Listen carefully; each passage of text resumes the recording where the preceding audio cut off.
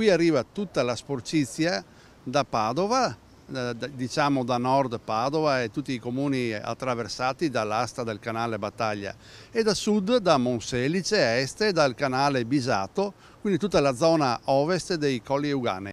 Le polemiche scoppiate per il battello turistico rimasto incagliato tra i rifiuti galleggianti all'arco di mezzo di Battaglia Terme non devono sorprendere. Lo stato vergognoso e incredibile nel quale versa il canale a Battaglia Terme era già stato denunciato ai nostri microfoni dal sindaco Massimo Momolo esattamente un anno fa. Una situazione inaccettabile di suo, ancora di più in un territorio a vocazione turistica, dalle terme a luoghi molto visitati come il Castello del Cataio e le ville disseminate nei comuni confinanti fino ad Arqua Petrarca.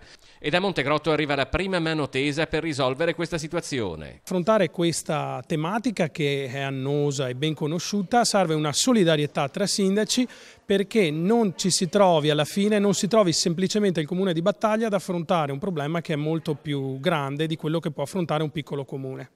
Per quello che riguarda il suo comune lei prenderà quindi provvedimenti?